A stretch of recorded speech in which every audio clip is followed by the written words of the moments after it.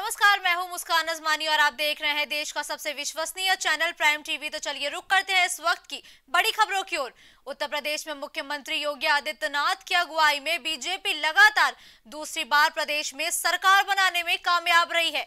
नई सरकार में वो कौन से चेहरे होंगे जो हमें सत्ता की सीट पर बैठे हुए दिखाई देंगे? इस प्रश्न का जवाब सिर्फ़ केंद्रीय नेतृत्व के ही पास है। नई सरकार के मंत्रिमंडल के सदस्यों के नाम पर दिल्ली में ही मोहर लगेगी तो आपको बताते चले कि दिल्ली में ही मोहर लगेगी कि आखिर प्रदेश में कौन से नए चेहरे जनता को मिलेंगे? इसको लेकर यूपी के नेताओं की कल बड़ी बैठक दिल्ली में होगी। इस दौरान मंत्रिमंडल विस्तार और सरकार के गठन पर भी चर्चा होगी और कौन से मंत्रियों को सूबे की कमान मिलेगी कौन कौन से नए मंत्री जनता देखेंगे, इसका भी फैसला कल ही होगा। ये बैठक में जेपी नड्डा, प्रधानमंत्री नरेंद्र मोदी समेत सूबे के कई बड़े मंत्री इस बैठक में शामिल होने की उनकी उम्मीद जताई जा रही है।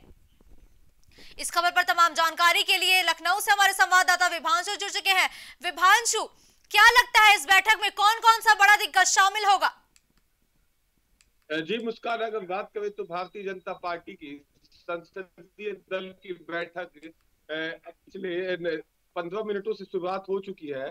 और इसमें आपके बड़े चेहरे की बात करें तो देश के प्रधानमंत्री नरेंद्र मोदी और गृह मंत्री अमित शाह और आपके भाजपा के राष्ट्रीय अध्यक्ष जेपी नड्डा समेत तमाम वो सांसद हैं जो कि बीजेपी पार्टी से 2019 के अंदर में लोकसभा का चुनाव जीत के आए। वो सभी संसदों के समक्ष प्रधानमंत्री का भी संबोधन कुछ कुछ ही समय में होने वाला है। और साथ ही साथ अटकलें लगाई जा रही है कि जो पाँच राज्यों में चुनाव हुए हैं और जिसमें से चार राज्यों में भाजपा को पूर्व बहुमत के साथ सरकार बनाने को उनके कार्यकर्ताओं के मेहनत का की वजह से सरकार बनाने जा रही है तो कहीं ना कहीं उन कार्यकर्ताओं साथ ही साथ उन पदाधिकारियों को भी धन्यवाद अर्पित करते हुए देख सकते हैं प्रधानमंत्री। साथ ही साथ वहाँ भारतीय जनता पार्टी के राष्ट्रीय अध्यक्ष जेपी नड्डा है तो वो एक हर एक जो है वो उनके तौर पे एक सिपाही जो सिपाही उनके लिए काम किया उनके पार्टी के लिए काम किया उन सभी को वो एक उन, उनको सुझाव देंगे और उन्हें मूल मंत्र देंगे। साथ ही साथ आपके उत्तर प्रदेश में तमाम मिथकों को तोड़कर सूबे के मुख्यमंत्री दोबारा से उस कुर्सी पर कब्जा जमा रहे जमाने जा रहे हैं। और ऐसी कई सारी अटकलें थी कि नोएडा जाने से लेकर और आपके इकहत्तर साल में कोई मुख्यमंत्री फुल टर्म के बाद फिर से रिपीट करे या दशकों पुराने कि कोई सरकार उत्तर प्रदेश में दोबारा से सरकार बनाए। इन सब मिथकों को तोड़कर एक बार फिर योगी आदित्यनाथ सीएम की कुर्सी पर बैठने जा रहे हैं। साथ ही साथ आज के संसदीय दल की बैठक में जो उत्तर प्रदेश में अटकलें लगाई जा रही हैं कि तीन डिप्टी सीएम होंगे चालीस मंत्री होंगे इन सब चीज़ों पे विराम लगेगा और साथ ही साथ वहाँ से खाका तैयार होगा जी। विभांशु अगर सूत्रों की माने तो ऐसी खबरें आ रही थी कि होली के बाद 20 या 21 में शपथ ग्रहण समारोह हो सकता है तो क्या अभी तक ऐसी कोई और अपडेट आई है? जी मुस्कान अगर बात करें तो ए, अब मुख्यमंत्री अभी जो योगी आदित्यनाथ है वो उत्तर प्रदेश के कार्यवाहक मुख्यमंत्री है उन्होंने अपना इस्तीफा उत्तर प्रदेश की राज्यपाल आनंदीबेन पटेल को दे दिया है। साथ ही साथ अब आनंदीबेन पटेल जो कि राज्यपाल का एक संवैधानिक पद होता है वहाँ से सरकार बनाने की एक प्रस्ताव आएगा क्योंकि भाजपा बहुमत के साथ आई और सबसे बड़ी पार्टी बन के उभरी है। तो सबसे पहले उसके पास सरकार बनाने का प्रस्ताव जाएगा। उसके बाद शपथ उन सब चीज़ों के बाद शपथ ग्रहण का प्रोग्राम डिसाइड होगा। अटकलें लगाई जा रही है कि होली के बाद 20 के, ऐसे 21 22 के बीच में ही शपथ ग्रहण होगा। मगर अभी दिल्ली में बैठक, आपने देखा कि योगी आदित्यनाथ दो दिन के दिल्ली दौरे पे थे, जहाँ वो सभी बड़े नेताओं से मिले। चाहे बात की जाए चुनाव प्रभारी बी एल संतोष, चाहे बात की जाए सुनील बंसल, चाहे अनुराग ठाकुर, चाहे खुद प्रधानमंत्री, चाहे देश के राष्ट्रपति, सबसे मुलाकात करके और वहाँ पार्टी का जो केंद्रीय कार्यालय है, वहाँ चर्चाएँ हुई होंगी। और साथ ही साथ मंत्रिमंडल को लेकर उनकी राय रखी गई होगी उनकी राय ली गई है। अब पार्टी उस पर का उस पर पूरा सोच विचार करके और आने वाले समय में मंत्रिमंडल देगा और शपथ के जल्द ही हो जाएगा। जी। विभांशु का डिप्टी सीएम पद की बात करी जाए तो इस रेस में कई दिग्गज जो है उन नेताओं का सा, नाम सामने आ रहा है। फिर चाहे वो बेबी रानी मौर्य हो ब्रजेश पाठक हो तो क्या लगता है किसका नाम मज़बूत दावेदार के रूप में सामने आ रहा है? जी, अगर बात करें तो बेबी रानी मौर्य जो कि पूर्व राज्यपाल रही हैं और साथ ही साथ भाजपा की पुरानी चेहरा है और ये इन्होंने राज्यपाल की कुर्सी से को छोड़कर और आगरा की सीट से उन्होंने चुनाव लड़ा। और अगर बात करें तो महिला सीट में तो बड़े चेहरे में बेबी रानी मौर्य काफ़ी लोकप्रिय हो सकता है कि महिलाओं को अगर भाजपा के अंदर में महिला के लिए एक डिप्टी सीएम बनाने का प्रावधान किए, जैसे बिहार और अन्य जगहों पे है तो हो सकता है कि बेबी रानी मौर्य उस रेस में आगे है। और साथ ही साथ कांग्रेस से बागी होकर आई आदित्य सिंह का भी नाम चल रहा है। और आपके समाजवादी परिवार की बहू अपर्णा यादव का भी नाम चल रहा है। तो देखने वाली बात यह होगी कि किस पे मुहर लगती है जब तक मुहर न लग जाएगा ये कहना सही नहीं कि मुख्यमंत्री कौन होगा। वहीं अगर बात करें तो उत्तर प्रदेश के प्रदेश अध्यक्ष स्वतंत्र देव सिंह समेत जो कानून मंत्री थे ब्रजेश पाठक उनके भी आशंकाएँ हैं कि उन्हें भी डिप्टी सीएम बनाया जा सकता है। साथ ही साथ ये अगर देखा जाए तो इस बार का मंत्रिमंडल काफ़ी लंबा चौड़ा होगा। अगर बात करें तो 40 से अधिक मंत्री भी शपथ ले सकते हैं राज्य मंत्री समेत। जी। विभांशु अगर बात की जाए केशव प्रसाद मौर्य की तो वो सिराथू सीट से चुनाव हार चुके हैं। तो क्या लगता है, क्या उनको इस बार मंत्रिमंडल में जगह मिलेगी? जी आपने देखा कि अभी हाल ही में विधान परिषद का चुनाव होने वाला है। जी। और अगर देखें तो विधान परिषद के वास्ते उनको जगह देकर और मंत्रिमंडल में शामिल किया जा सकता मगर साफ़ तौर पे बीजेपी का एक बयान आ चुका है कि हारे हारे हुए विधायकों को वहाँ विधान परिषद के दरवाजे उन्हें नहीं भेजा जाएगा लोअर आपके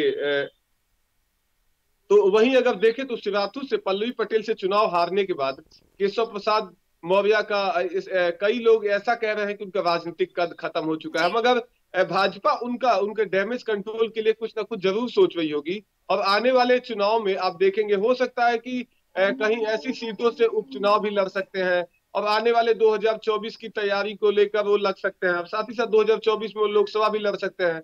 तो जो पार्टी का आला कमान है उसके ऊपर निर्भर है कि वो उन्हें क्या ज़िम्मेदारी देती है। वहीं अगर बात करें तो आज के संसदीय दल में 2024 के चुनाव को लेकर एक समीक्षा बैठक भी की जा सकती है और उस पर विचार विमर्श किया जा सकता है। विभांशु अगर 2022 के संविधान सभा चुनाव की बात करें तो 2024 के लोकसभा चुनाव का ये एक रोड मैप माना जा रहा है। तो क्या लगता है 2024 में भी योगी और मोदी लहर का असर देखने को मिलेगा? जी मुस्कान अगर बात करें तो उत्तर प्रदेश चुनाव जो की पूरे देश के सबसे बड़े राज्य का चुनाव था जहाँ सबसे ज़्यादा विधानसभा और साथ ही साथ सबसे ज़्यादा लोकसभा सीटें भी हैं। तो कहीं ना कहीं इसे उत्तर प्रदेश को 2024 का सेमीफाइनल कहा गया। और अगर बात करें तो इस बार आपने देखा कि इन दो चेहरों को जनता ने कैसे पसंद किया और किस हद से उन्हें समर्थन दिया जिसके नतीजे जिसका नतीजा है कि भाजपा फिर उत्तर प्रदेश में एक बार फिर सरकार बनाने जा रही है। और आने वाले चुनाव में भी इसका अब विपक्ष दिखेगा कि विपक्ष कितना अपनी बातों को कह पाता है और पक्ष की सरकार क्या अपना उसी जलवे को कायम रखती है, ये आने वाला समय बताएगा। मगर बात करें अगर अभी तत्काल की तो आपने दो पाँच राज्यों में चुनाव में देखा कि चार राज्यों में भाजपा ने पूर्व बहुमत के साथ सरकार बना लिया तो कहीं ना कहीं अभी प्रधानमंत्री के चेहरे जो आप लहर की बात कर रही हैं, वो लहर कहीं ना कहीं है। जी। विभांशु जाने से पहले मैं आपसे आखिरी प्रश्न लेना चाहूँगी कि हाँ भाजपा ने चार राज्य में प्रचंड जीत के साथ अपनी सरकार बनाई है तो यूपी में तो लगातार बैठकों का दौर चालू है ताकि मंत्रिमंडल जितनी जल्दी से जल्दी हो सके वो अपनी ओथ सेरेमनी ले ले। बाकी तीन राज्यों का क्या हाल है? वहाँ पे कब ओथ सेरेमनी हो सकती है? जी अभी हर जगह पे चाहे बात की जाए गोवा की चाहे मणिपुर की चाहे उत्तराखंड की चाहे आपके उत्तर प्रदेश चाहे पंजाब की हर एक जगह पे अभी पंजाब का ऐसे आए हैं सुर्खियों में कि इक्कीस तक वहाँ पे शपथ हो सकता है। वहीं उत्तराखंड की बात की जाए तो उत्तराखंड में भी पुष्कर धामी अपना इस्तीफा दे चुके हैं और जल्द ही उन्हें भी राज्यपाल की तरफ़ से न्योता मिल सकता है सरकार बनाने की। वहीं अगर बात करें गोवा जो कि सबसे छोटा राज्य है और छोटी जनसंख्या के साथ वहाँ विधानसभाएँ होती है तो वहाँ बहुत ही इस तरह से उत्तर प्रदेश, बिहार या उत्तराखंड ऐसे चुनाव नहीं होते हैं तो इसमें की सूचना नहीं है। वहीं पंजाब में आपकी लगभग 21 को शपथ होने वाला है। जी। धन्यवाद विभांशु इस खबर पर हमारे साथ जुड़ने के लिए। तो लगातार दिल्ली में भाजपा पार्टी का लगातार बैठकों का दौर जोरों शोरों से चल रहा है ताकि जल्दी से जल्दी जो यूपी में है, उस वहाँ पे मंत्रिमंडल का गठन हो सके और जो प्रदेश का सीएम है, वो जल्दी से जल्दी बनाया जा सके। इसको लेकर लगातार बैठकों का दौर जारी है। यही वजह है कि कल एक बार फिर दिल्ली में बड़े नेताओं की बैठक होगी, मंत्रिमंडल विस्तार और सरकार के गठन पर। इस दौरान इस बैठक में चर्चा हो सकती है तो आपको बताते चले कि 10 मार्च को जब नतीजे आए थे तो उस दौरान भाजपा ने प्रचंड जीत के साथ, प्रचंड बहुमत के साथ एक बार फिर सूबे में अपनी सरकार बनाई थी। यही वजह है कि अब लगातार मंत्रिमंडल को लेकर भी बैठकें दिल्ली में जोरों शोरों से चल रही हैं। खबर रायबरेली ज़िले से है, जहाँ जिला अस्पताल के महिला हड्डी वार्ड और महिला सर्जिकल वार्ड के पास बने गोदाम में संदिग्ध परिस्थितियों में आज सुबह आग लग गई। वहीं आग लगने से अस्पताल में हड़कंप मच गया। आग लगने से भर्ती सभी मरीज़ अपने अपने बेड से उठकर इधर उधर भागने लगे, जिसकी सूचना मिलते ही मौके पर पहुँची फायर ब्रिगेड ने कड़ी मशक्कत के बाद आग पर काबू पाया। लेकिन इस पूरे मामले पर हैरानी की बात यह रही कि इतना बड़ा हादसा होने के बावजूद अस्पताल प्रशासन का कोई भी अधिकारी मौके पर नहीं पहुँचा। तो इस दौरान आप अपनी तस्वीरों में देख सकते हैं किस तरह से रायबरेली में अस्पताल परिसर के अंदर ही आग लग गई। वहीं आग लगने की सूचना मिलते ही अस्पताल में जितने भी भर्ती मरीज़ और उनके तीमारदार थे, उनमें भगदड़ मच गई। वो इधर उधर भागने दौड़ने लगे।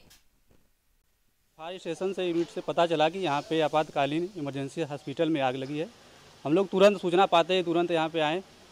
जैसे तैसे पहुँचे, फिर पहुँचने के बाद यहाँ पर देखे बहुत भीषण आग लगी थी जिस पर हम लोग हम और मैं अपने हम अपने राही हम राही के साथ आग पे काबू पाया गया। अब आग पर तो बड़ी संख्या में मरीज़ भर्ती थे। बड़ी संख्या में मरीज़ भर्ती थे लेकिन हम लोग उसको देखते हुए सही तरीके से अपने सूझबूझ के साथ आग को पर काबू पाया है। अब आग को पूरी तरह बुझा लिया गया है यहाँ पे। अब कोई दिक्कत उक्कत आग की दिख नहीं रही। अब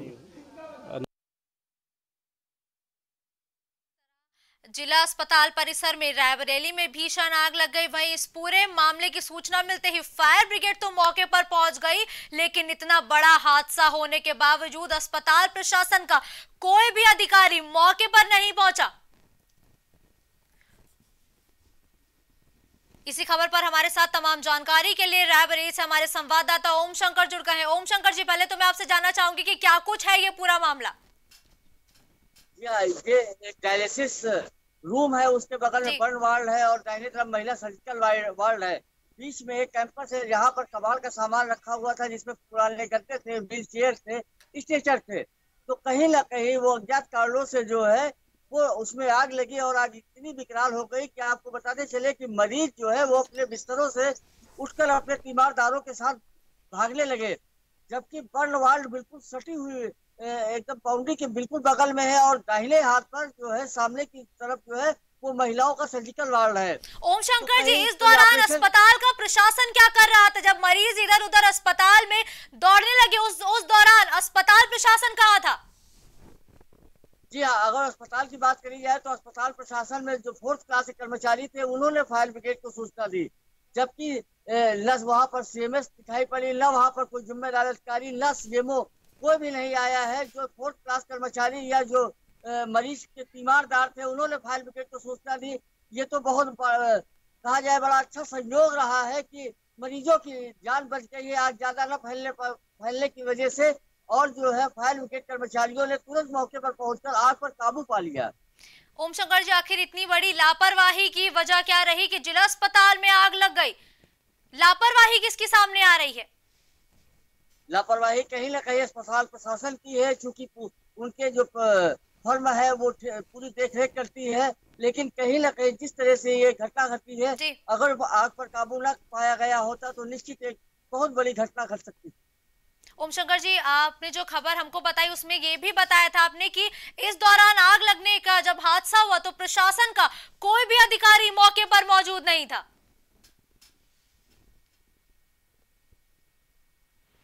ओम शंकर जी क्या आपको मेरी आवाज़ रही है? लेकिन जो है वो तीमारदार और उनकी वजह से जो है एक फायर ब्रिगेड को सूचना दी गई और फायर ब्रिगेड को वहाँ के को तीमारदार और मरीज़ तीमारदार और मरीज़ जो धन्यवाद अदा कर रहे हैं कि तुरंत वहाँ पर पहुंचकर आग पर काबू पाया गया। ओम शंकर जी फायर ब्रिगेड तो मौके पर पहुँच गई लेकिन अस्पताल प्रशासन का कोई भी अधिकारी मौके पर नहीं पहुँचा। जी हाँ चूँकि घटना सुबह साढ़े पाँच बजे की थी तो जो नाइट ड्यूटी के कर्मचारी थे इक्का दुक्का वही जो फोर्थ क्लास है नर्सेज है। वही मौके पर थी बाकी अगर न सीएमएस थी न सीएमओ थे ना ए ए सीएमओ थे ना जिला अस्पताल का कोई डॉक्टर या जिम्मेदार कर्मचारी वहाँ पर मौजूद था। आखिर उन्हें मामले की जानकारी तो दी गई होगी ना तो क्या वजह रहे कि वो मौके से नदारद रहे? बिल्कुल अब इस बारे में अभी सीमो ऑफ़िस में दस बजे जो है वो सीमो की बाइट करेंगे। उसके बाद उसको जो है देखते हैं क्या करते हो जाँच के आदेश देते हैं या फिर जो है टाल मटोल कैसे टाल देते हैं। अभी तक किसी मरीज़ के हताहत होने की कोई खबर सामने आई है ओम शंकर जी?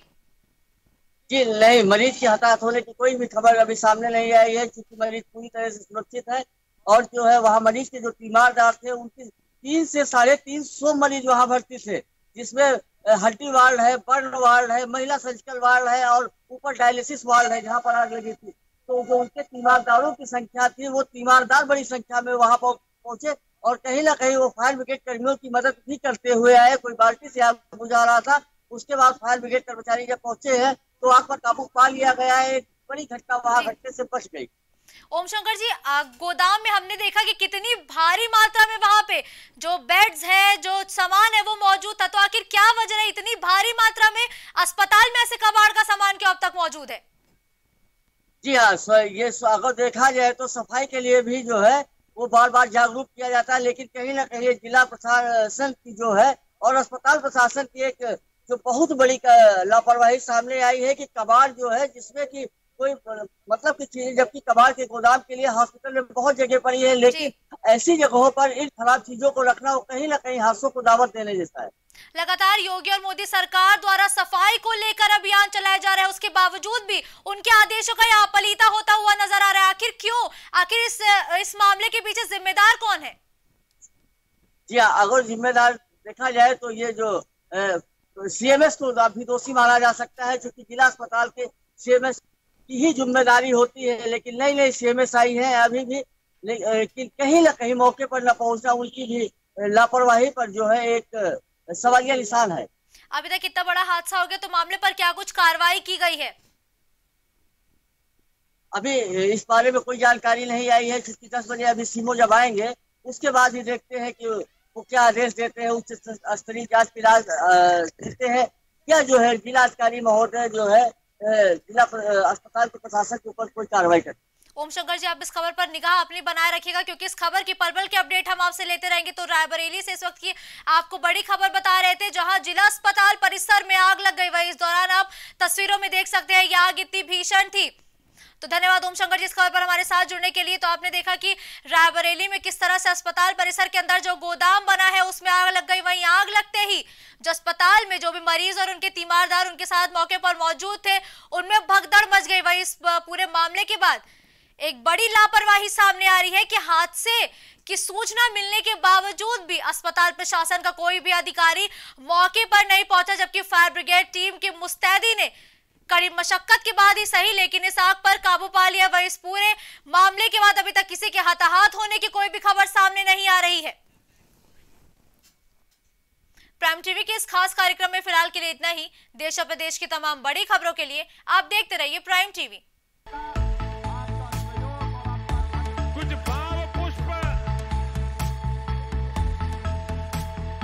आप देख रहे हैं प्राइम टीवी सच साहस सरोकार।